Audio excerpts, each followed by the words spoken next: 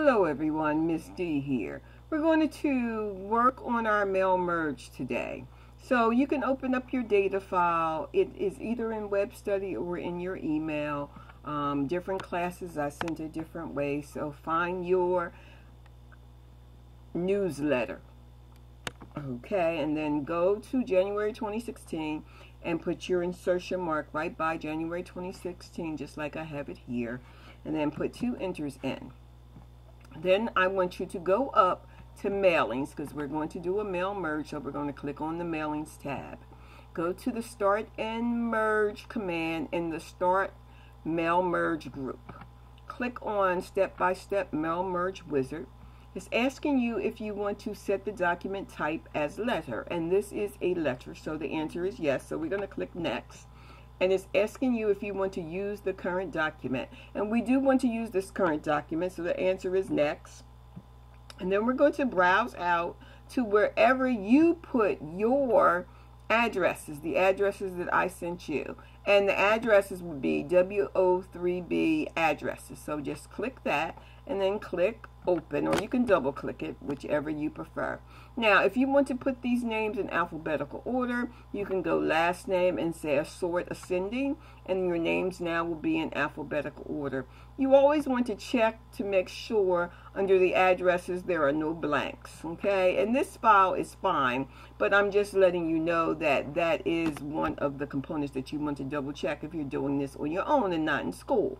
Then click OK now you want to go to the write and insert fields group and click on insert merge field. First name space. Then you want to go back and put the last name in. Then you want to put enter and sometimes you have to put two. So then you're going to put your address in and put an enter in. And then you put your city. And then comma space. And go back and put state space and then your zip codes. All right, now we have to close up all of these line spaces because you can see these line spaces are too big. So what you can do is go to, oh, excuse me, what you can do is you can go to your layout or you can go to home. Okay, it doesn't matter uh, which one you go to. They both do the same thing. If you go to layout, just make sure that on, on your layout that your um, after is set at zero okay? So if you set it at zero it will close everything up all right? And if you go to home what you're going to do is click on your paragraph launcher and then you're going to set your line spacing to single and you're going to make sure that you do not add space uh, between paragraph at the same style of the same style. Make sure that's enabled and click OK but what happens is it still has too many line spaces. So you have to set your insertion marker between the lines and then click delete. Okay? And click delete and then put at least three enters in. And you have to judge this. It's how it looks to you. Okay, and then we want to go back to mailings, and then we want to go ahead and put our greeting line in. For our greeting line, I like a, a more informal line where it says greeting line format, and it says Mr. Randall. I like Mr. Randall. If you like uh, just his name without uh, the citation in front, you can do that.